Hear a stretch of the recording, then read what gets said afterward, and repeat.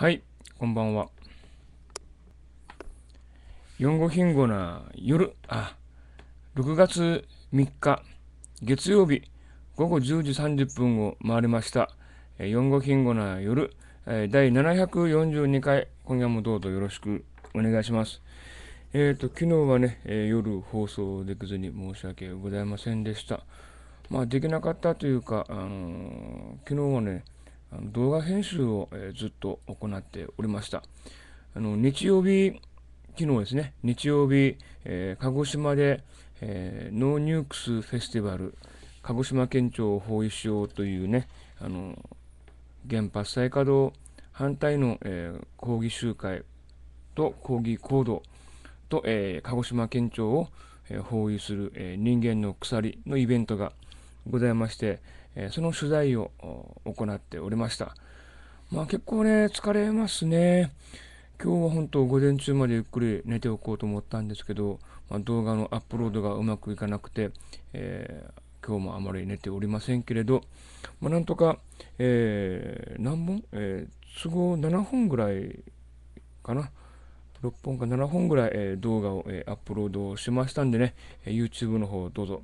ご覧ください。あと、前回の、えこの前の鹿児島、え知事選挙に出馬されました、ムコバル、え吉高さんの、え公開質問状の、えレポート、お話、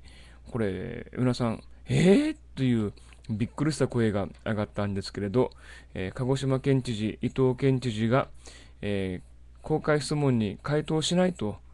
えいうことで、あのそれで会場から、えーという声が上がっている動画も入っておりますんでね、まあ、今後、えー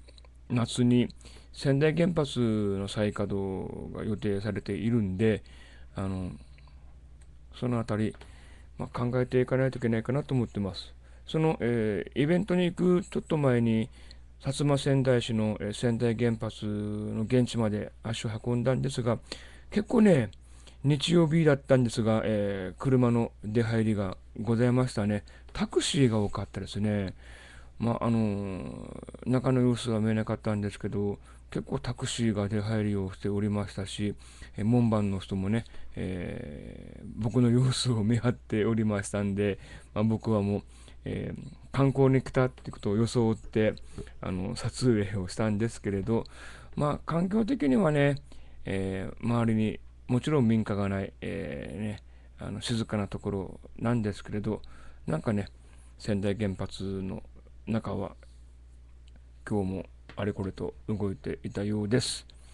まあ、イベントの方は、えー主催者の方が、まあ、1500人来ればいいかなって言ったところが、えーなんと、えー2100人集まったということで、まあ、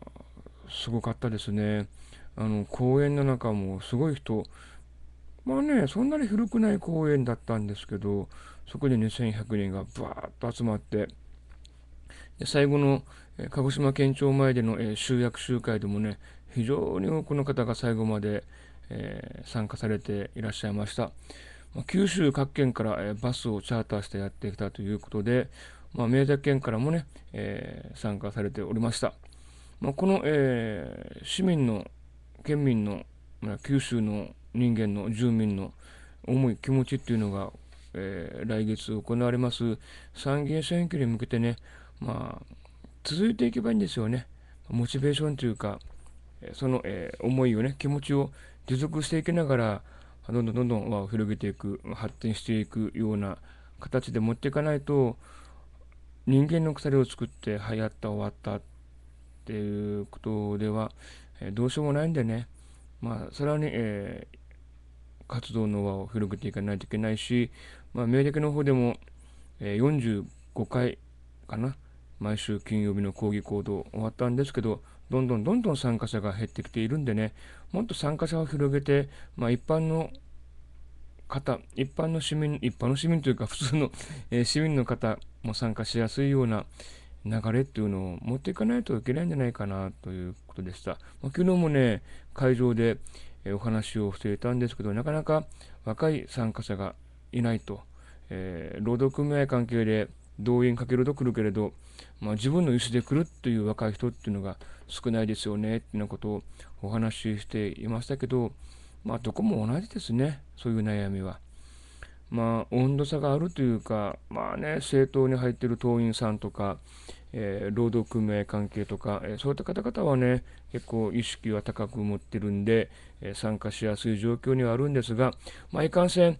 アベノミクス効果で、え経済が好転してきていると言われても、まあ、それは賃金に跳ね返ってこないんでね、まあ、生活が苦しいというか、えちょうどその若い世代というか、え運動に参加してほしいような世代は、まあ、子供子供さんが小さいんでね、結構、えー、参加できないとか、まあ、共稼ぎで仕事が忙しいということで、なかなか余裕を持って、余裕を持ってね、そういった集会、デモ行進なんかに参加できないというところもあると思うんですよね。なかなか、今の社会情勢考えると難しいかなというところなんで、まあ、僕のような形で家にいても、えー、参加できますよというストリームで中継がありますよ、見ませんかということをやってますけれど、なかなか、えー、見てもらえない。鹿児島でもね、昨日でもね、結構に多くの方が何やってるんですか？それ何ですかって聞きに来るんですね。はい、ユーストリームで中継してますっていうお話を、えー、何度も何度もやったんですけど、鹿児島でもまだそういう状況なんでね、まだインターネットにおける情報発信というか、それまた広めていかないといけないのかなというところでございます。なんか本当、えー、紙面メディアっていうのは昨日参加された福岡の、えー、金子さんと私ぐらいなんですよね。ですんで、まあ、僕が南九州担当ということではありませんけれど、まあ、南九州で市民メディアをね、えー、育成していく必要があるのかなと、あ、時間来ました。思っております。はい、ということで、もう今日疲れてるんで、お腹も空いたんで、まあ、うちの晩ご飯は時間が早いんで、まあ、ご飯食べた後、ご飯がね、夕方の5時半ぐらいなんですね。早いでしょう。夕方の5時半。病院よりも早いんで、えー、親父が早いんでね、えー、食べるでしょ。でその後、まあ、普通だったらほら、えー、今に行ってテレビを見てくつろいでで寝るでしょ。うちは僕の場合には晩ご飯食べて親父の腰を揉んで、えー、また2階に上がって自分の部屋で作業を行うという流れで、まあ、それから作業してるんでこの時間帯になると本当お腹すくんですね。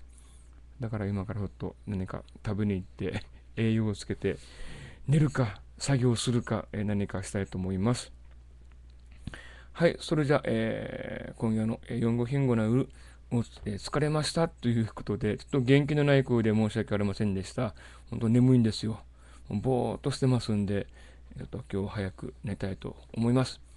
はい、えー、4号品語なうる、えー、第742回、この付近で放送を終わりにします。また明日もね、同じ時間帯に放送しますんで、お時間がございましたら、明日もどうぞご覧ください。それでは、えー、失礼します。